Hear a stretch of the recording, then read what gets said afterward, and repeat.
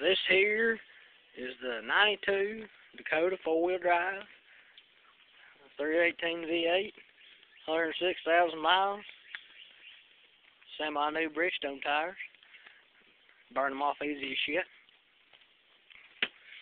Got Flowmaster dual exhaust. Sounds pretty badass. Gotta have the K&N and 104.1 WTQR sticker. Take a look at the old inside here. right, right yonder, 106,000. Power windows, power door locks. Got the LE package. Let's see what it sounds like yonder.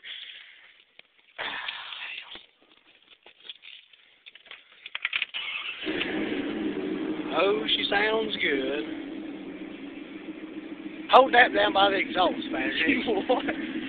How y'all doing? Remember, dip Skoal. Here's the old exhaust.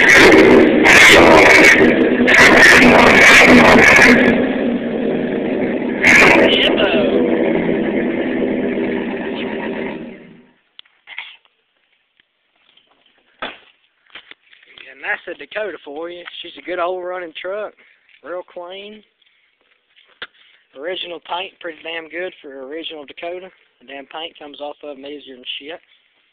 I got the, I got one good license plate light right there, and we got one made out of an old Grizzly snuff can right there. Pretty damn good, I think.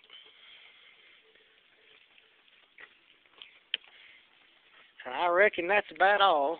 So thank you for watching. Bye!